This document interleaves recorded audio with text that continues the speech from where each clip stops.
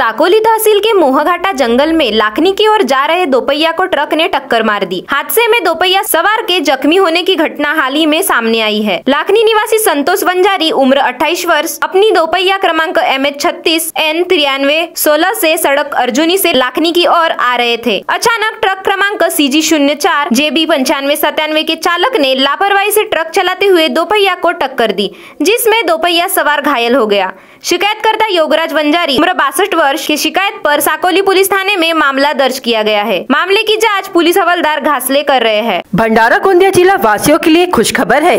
अब आपका मनपसंद channel B S crime India news अब आपके केबल नेटवर्क पर। जी हाँ अपने केबल नेटवर्क के एशियन चैनल नंबर तेरह पर उपलब्ध है।